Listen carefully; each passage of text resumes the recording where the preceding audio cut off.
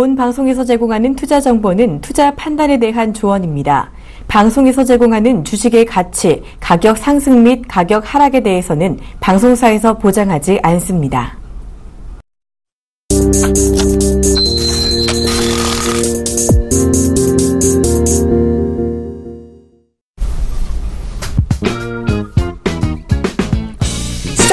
궁금증을 낱낱이 풀어드립니다. 예, 생방송 증시와의 안녕하세요. 최영민멘토입니다. 안녕하세요. 박진영입니다. 자, 주말을 앞둔 금요일입니다. 예. 금요일에는요, 많은 분들 이 주말을 앞두고 있기 때문에 기분 많이 좋아지실 텐데요. 자, 멘토님은요, 주말에 뭐 하실 계획이세요? 예, 요번 주에 지수가 워낙 또 많이 흔들려가지고 스트레스를 네, 많이 받았습니다. 맞아요. 주말에 이제 토요일을 이용해가지고 가까운 뭐 공원이라도 나가서 좀 산책을 할 계획입니다. 네, 좋은 계획이네요. 자, 그런데요, 이 예. 만약에 멘토님처럼 산책 계획하신 분들은요, 나가실 때 꼭 이 마스크 쓰고 가셔야 할 것 같아요. 예. 미세도 먼지 네, 농도가 엄청나다고 하더라고요.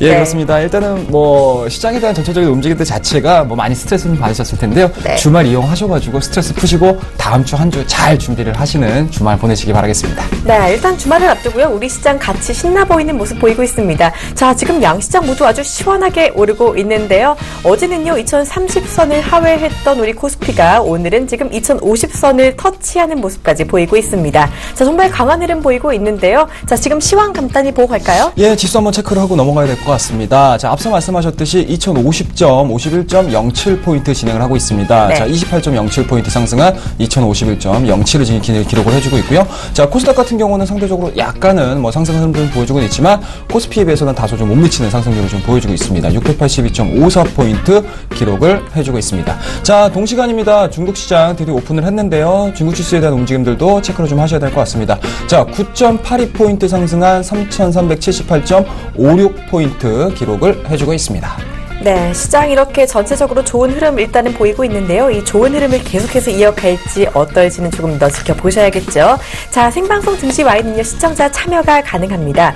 자, 요즘 혹시 교보문고 가보셨어요? 교보문고요? 예, 어제 갔다 왔습니다. 네, 거기 현판이 좀 좋은 말이 있더라고요. 아, 제가 보니까요. 예. 어제 지난주 현판에 우주가 우리에게 준 선물 두 가지가 있다. 하나는 사랑하는 힘, 하나는 질문하는 능력이다. 아, 이런 얘기가 나오고 있더라고요. 정말 좋은 문구네요. 그렇죠. 예. 저희 증시와이를 사랑하는 힘, 그리고 저희 증시 와이의 질문하는 능력 모두 사용해 보시는 게 어떨까 싶습니다. 자, 무료 문자 013-3366-0110으로 언제든지 문자 주시면요. 여기 계신 최영돈 멘토님이 이 궁금증 속 시원하게 해결해 드릴 겁니다. 자, 저희 시청자 참여 방법 퀴즈도 있잖아요. 예, 그렇습니다. 오늘이 바로 금요일이죠. 예, 그렇습니다. 자, 당첨자. 퀴즈를 내기 전에 당첨자를 뭐 먼저 말씀을 좀 드려야 될 것 같습니다. 네. 자, 다섯 분 빠르게 호명해 드리도록 하겠습니다. 자, 3856님, 3278님, 6225님, 8829님, 3458님. 자, 다시 한번 당첨 축하드리고요. 어, 자, 우리 이제 다음 주 월요일서부터 금요일까지 네. 일주일간 무료 멘토링 서비스를 이용하실 수 있는 추천권을 드리니까요. 많은 다시 한번 어, 저희가 제작진에서 전화를 드릴 테니까 많이 기다려 주시고요.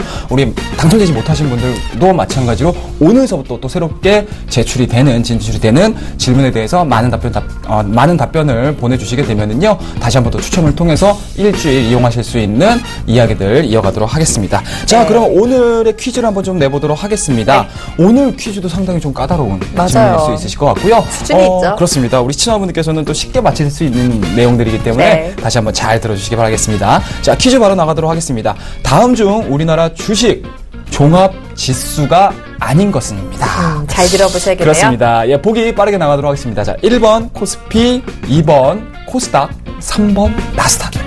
네, 퀴즈 정답을 아시는 분들은요, 말씀드린 대로 013-3366-0110번으로 언제든지 연락 주시면요, 저희가 추첨을 통해서 매주 금요일마다 이 당첨되신 분들께 무료 멘토링 서비스 제공해 드리도록 하겠습니다. 자, 지금 이 시점에서 또 우리 최영돈 멘토님 화려한 수익률 좀 보고 예. 가봐야겠죠. 화면 함께 보시고 증시 Y 이어가도록 하겠습니다.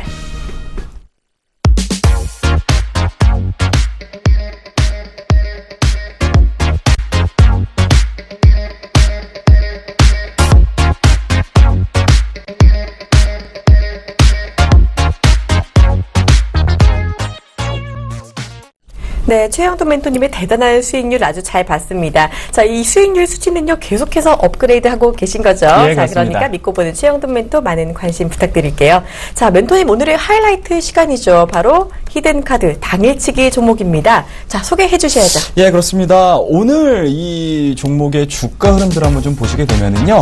일단은 뭐 21선 지지를 받고 상당히 좀 좋은 모습들을 좀 보여주고 있습니다. 그와 네. 더불어서 오늘자 또 실적을 발표를 했기 때문에 그 실적 자체도 상당히 좀 깜짝 어닝 서프라이즈를 기록을 하면서 시장에서 굉장히 크게 음. 네. 관심을 좀 많이 갖고 있습니다. 그와 더불어서 외국인과 기관 자체도 마찬가지로 좀 쌍끌이 매수가 좀 들어오고 있는 상황들이고요.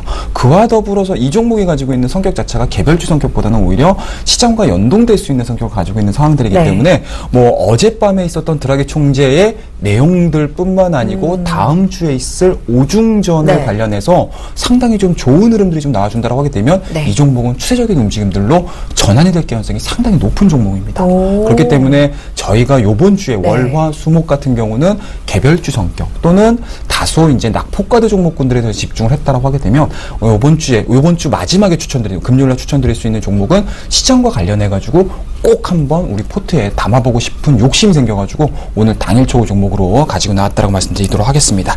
자, 이 종목을요 저희가 이 증시 Y가 끝나는 11시 반부터 저희가 3시까지 무료, 무료 방송을 진행을 하는데요. 이 무료 방송에서 우리 회원님들과 같이 우리 무료 회원님들과 같이 매수를 하게 되면 예상 수익률은 단기적으로 10% 보면서 대응을 하도록 하겠습니다. 네, 오늘 당일치기 종목 예상 수익률 10%라고 해주셨습니다. 자, 오늘 또 실적 발표를 한 종목이라고 그렇습니다. 하니까요. 어떤 종목인지 궁금하신 분들은요. 방송 끝나고 진행되는 이 최영동 멘토 무료 공개 방송에 많은 관심 부탁드립니다. 자, 이제 계속해서 종목 Y 이어갈게요.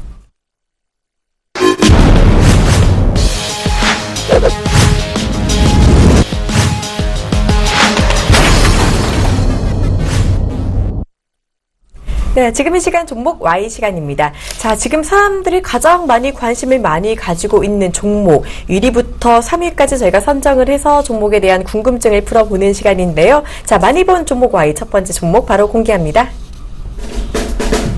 네, 오늘 가장 많이 본 종목은요, 삼성 엔지니어링입니다. 실적 부진에 따른 약세.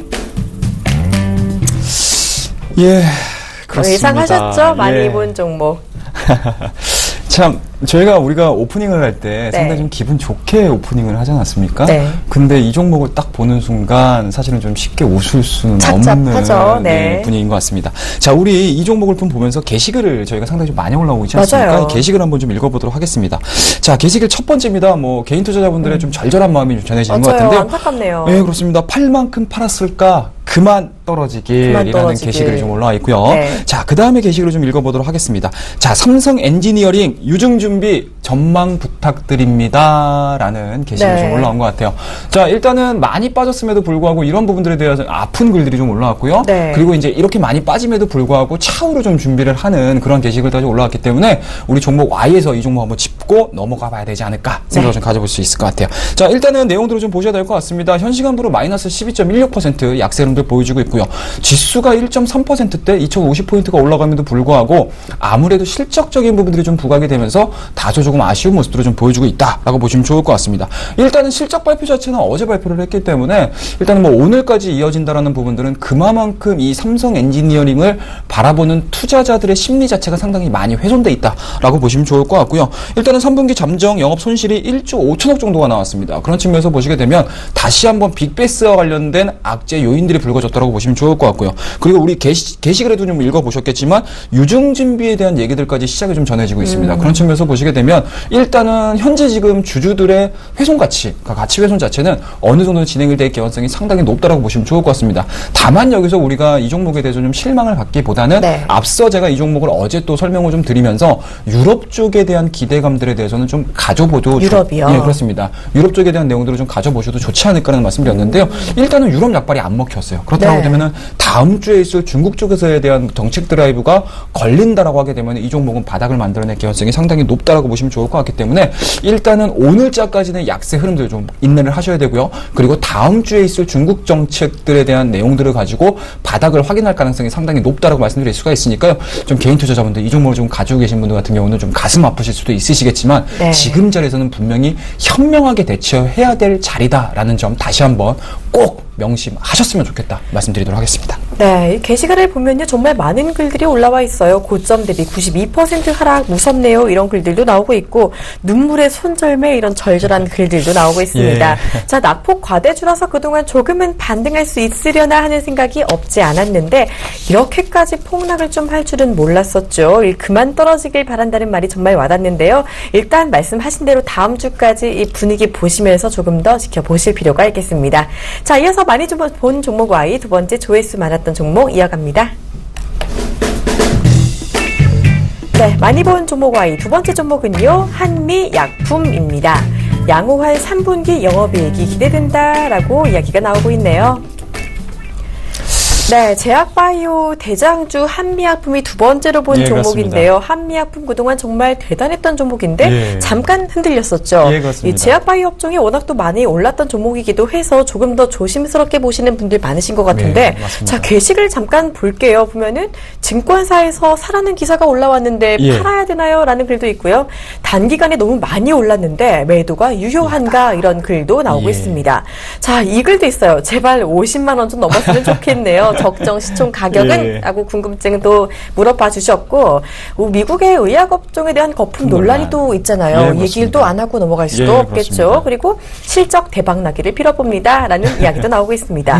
예. 정말 중요한 이야기 많이 올라와 있는데 예, 이 예. 매도가 유효한지 거품이 아닌지 이런 질문이 좀 주된 질문인데요. 어떻게 좀 생각을 해볼 수가 있을까요? 예, 그렇습니다. 일단은 이 한미약품 그동안에 사실은 제약바이오, 그러니까 상반기 2015년 상반기 자체가 사실은 뭐 제약바이오를 빼놓고 얘기할 수 없는 시기였다라고 보시면 좋을 것 같고요. 네, 맞아요. 그 이후에 이제 추가적으로 이제 좀 선선해지니까 어떻습니까? 2분기 실적에 대한 우려감들 불거지면서 다시 빠졌습니다. 네. 그와 더불어서 전체적으로 시장 자체 고퍼주들에 대한 논란이 일궈지면서 어, 제약바이오가 일제히 조금 하락하는 흐름도 보여줬는데요.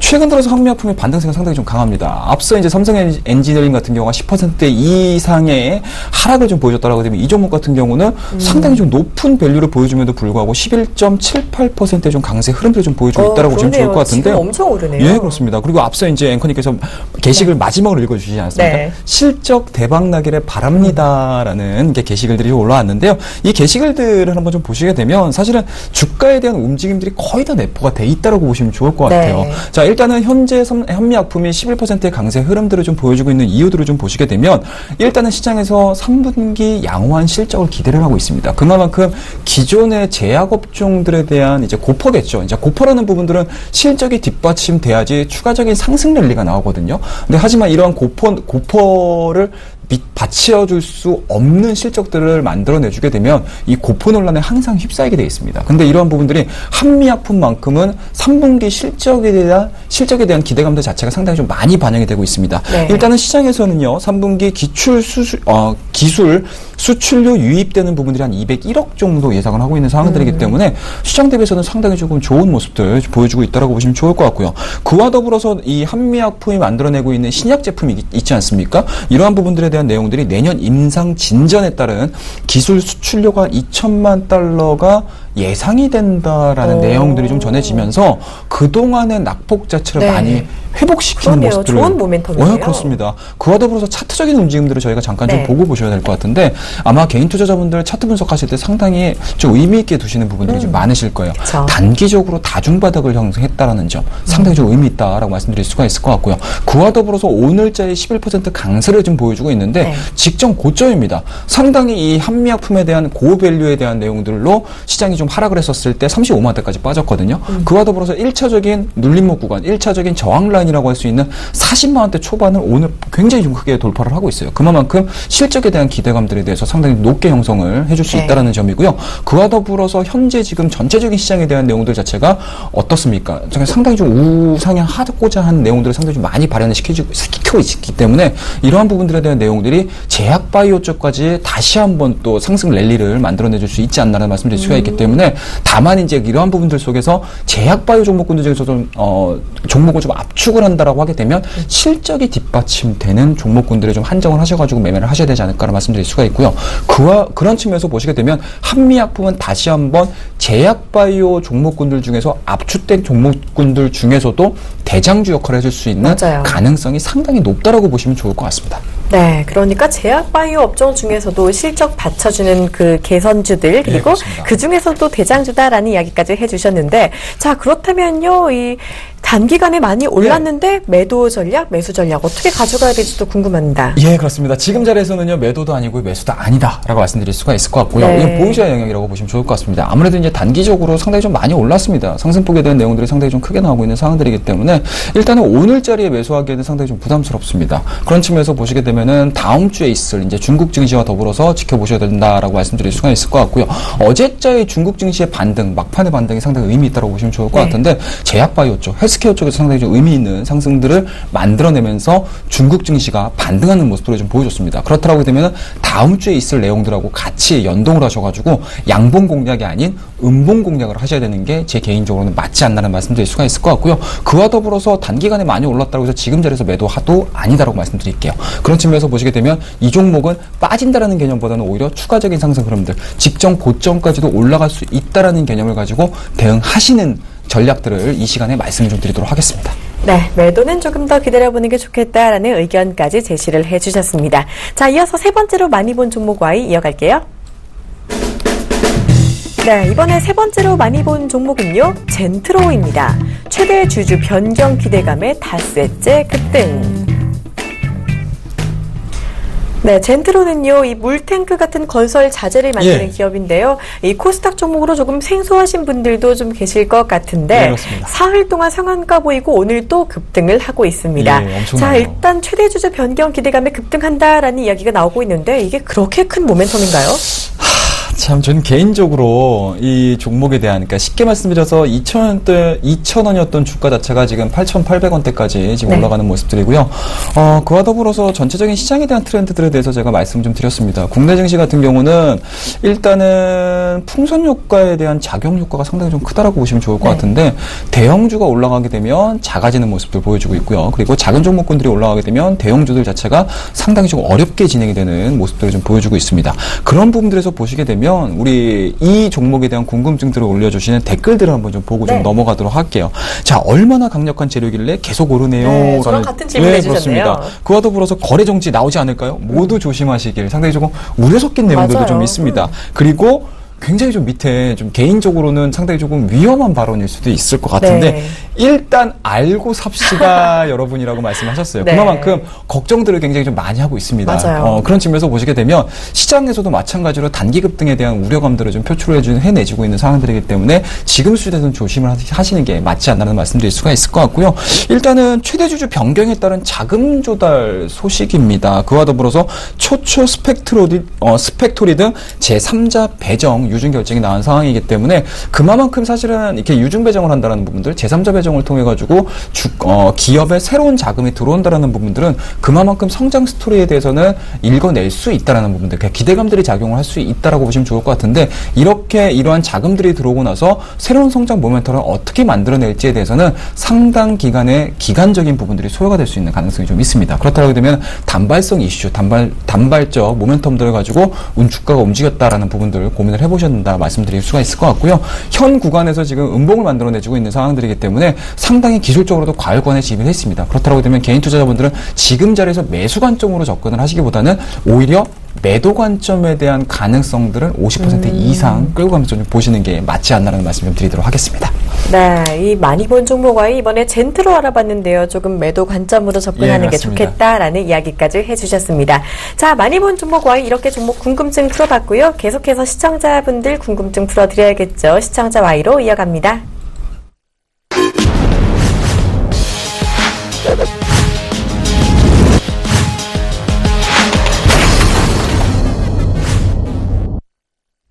네, 이어서 시청자 궁금증 알아보는 시청자 Y 시간입니다. 자, 지금 계속해서 많이들 문자 보내주고 계세요. 언제든지 좀 궁금증 있으시다 하신 분들은요, 013-3366-0110번으로 문자 주시면 됩니다. 자, 그렇다면 첫 번째 궁금증 풀어보도록 하겠습니다. 자, 지금 5391님이 보내주신 질문인데요. 주식형 펀드 환매 어디까지 라는 질문을 주셨네요. 자, 답변 부탁드립니다. 예, 그렇습니다. 일단은 2,000포인트가 항상 넘어서게 되면은 국내 증시 자체에 대한 이제 펀드 환매 물량들이 물량들이 상당히 좀 많이 나오고 있습니다. 그런 부분들에서 보시게 되면 일단은 기관 쪽에서 나오는 물량들을 좀 많이 체크를 하셔야 할 것 같은데 뭐 최근 들어서 기관 쪽에 대한 물량들이 상당히 좀 많이 유입이 되고 있다라는 측면에서 보시게 되면 일정 수준 우리가 첫 번째 한번 2,000포인트를 한번 좀 경험을 하지 않았습니까? 네. 그쪽에서 이제 물량 자체를 많이 소화했다라고 말씀드릴 수가 있을 것 같고요. 그와 더불어서 이제 다음 주에 있을 중국 쪽에서의 이제 정책 모멘텀들까지 같이 전에 더해진다라고 하게 되면 저는 개인적으로 지금 나올 수 있는 주식 환매 물량들은 어느 정도 시장에서 소화할 가능성이 상당히 높다라고 보시면 좋을 것 같고요. 그와 더불어서 최근 들어서 외국인들에 대한 순매수세가 상당히 연속적으로 많이 나고 있습니다. 그런 측면에서 보시게 되면 외국인들에 대한 지수 상방 흐름들 그렇다라고 하게 되면은 기관들도 마찬가지로 지수, 지수 환매에 대한 움직임들보다는 오히려 다시 한번 유입되는 물량들을 가지고 지수를 조금 더 끌어올릴 가능성이 상당히 높기 때문에 지금 구간에서는 일단은 좀 긍정적인 포인트를 가지고 시장을 바라보시는 게 가장 좀 현명하지 않을까 말씀 좀 드리도록 할게요. 네, 명쾌한 답변 해주셨습니다. 계속해서 다음 질문 받아보도록 할까요? 자, 아까 우리가 또 한미약품을 알아봤 잖아요. 예. 이에 대해서 제약 바이오주들에 대한 궁금증 많이 지금 들어오고 있습니다. 예, 그렇습니다. 자, 0864님이요. 지금 제약주 단기 반등 매수 가능할까요? 라는 질문 주셨는데, 자, 이게 아까 한미약품이 좀 네. 대장주로 움직이면서 같은 좀 제약 바이오 업종들이 많이 움직이고 있는 모습인데요. 예, 예. 자, 이 전망 전체적으로 좀 알아볼까요? 예, 일단은 뭐 앞서서도 말씀드렸습니다. 일단은 제약 업종을 바라시는 데 있어서는 고포 논란은 뭐 당분간은 좀 네. 이어질 가능성이 상당히 높다라고 보시면 좋을 것 같습니다. 그런 측면에서 보시게 되면 일단은 주가에 대한 움직임들이겠죠. 물론 이제 조정을 많이 좀 받은 종목군들도 단기 반등이 나올 가능성도 상당히 높겠지만 앞서 말씀드렸듯이 한미약품과 같은 실적적인 부분들을 충족을 못 시켜준다라고 하게 되면은 종목별로 상당히 좀 상이한 모습들을 보여줄 가능성이 상당히 높다라고 말씀 좀 드릴 수가 있을 것 같아요. 그런 부분들에서 보시게 되면 개인 투자자분들께서는 일단은 의약업종 자체를 전체적으로 다 보실 게 아니고 이 의약업종 안에 내포돼 있는 포함되어 있는 종목군들 중에서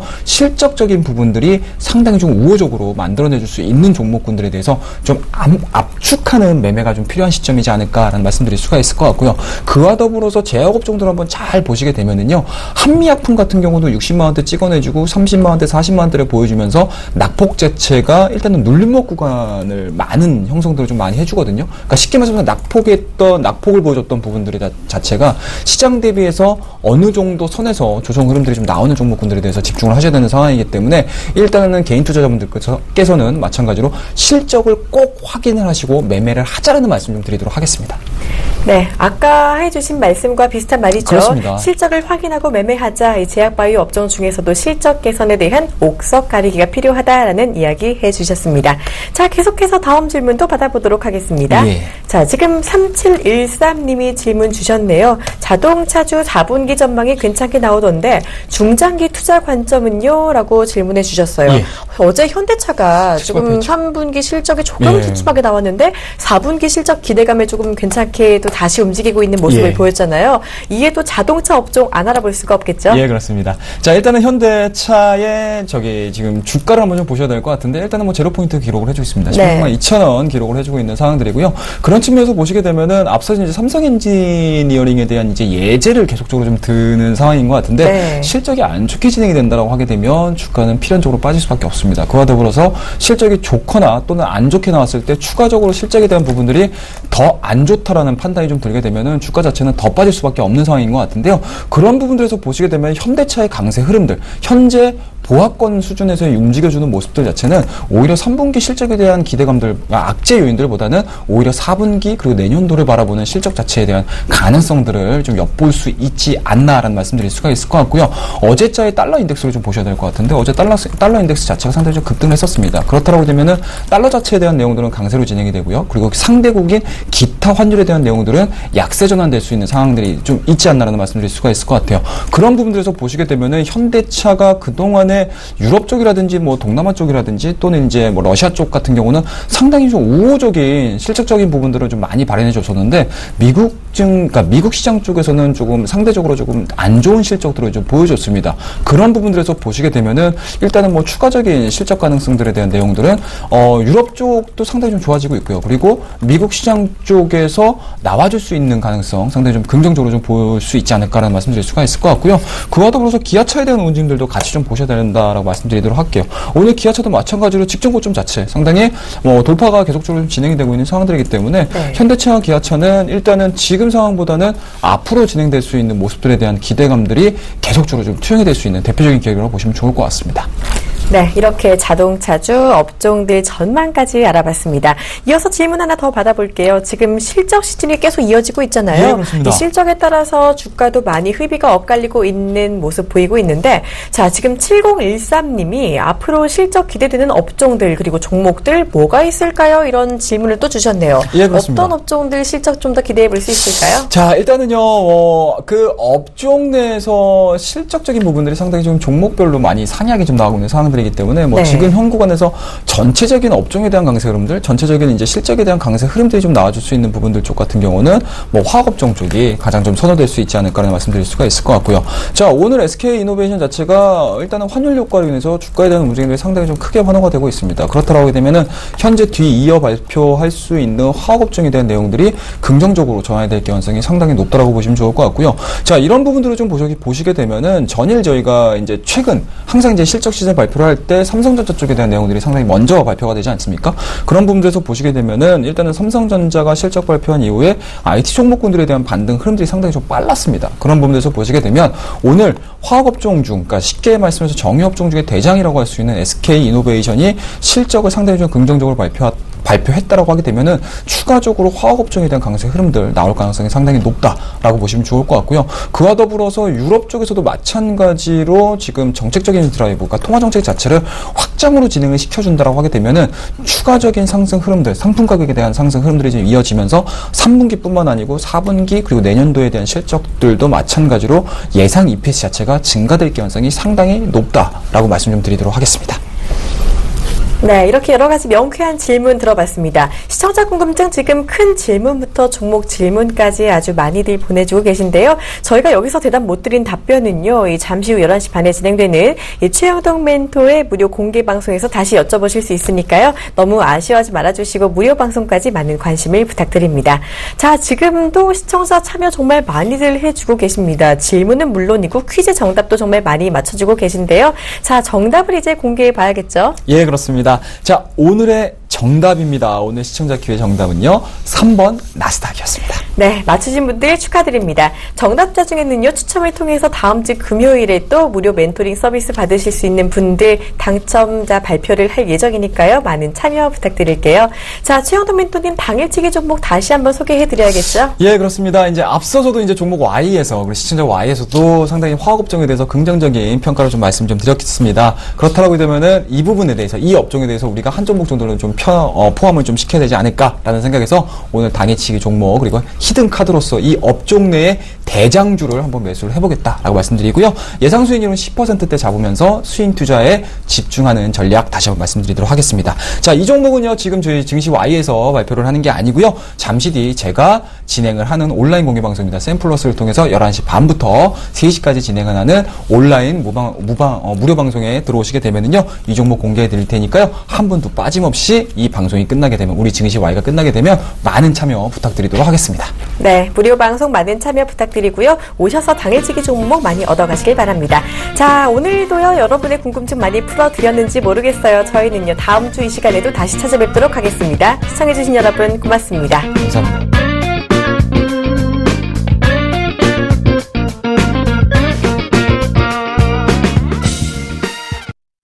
본 방송에서 제공하는 투자 정보는 투자 판단에 대한 조언입니다. 방송에서 제공하는 주식의 가치, 가격 상승 및 가격 하락에 대해서는 방송사에서 보장하지 않습니다.